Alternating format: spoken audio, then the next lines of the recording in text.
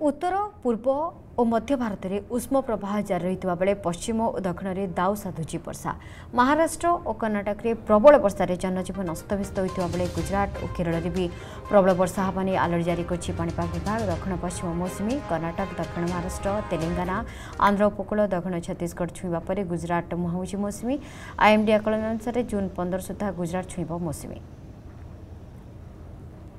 अभी मुंबई में मानसून आने के लिए हम हमें तीन से चार दिनों का इंतज़ार रहेगा।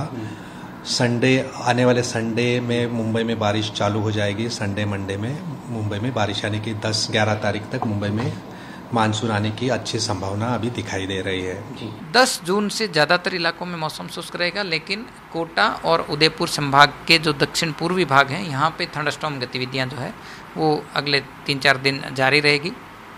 तापमान की बात करें तो ज़्यादातर स्थानों पर फ़िलहाल अधिकतम तापमान 43 डिग्री सेल्सियस से नीचे है, यानी हीट वेव की परिस्थिति नहीं है।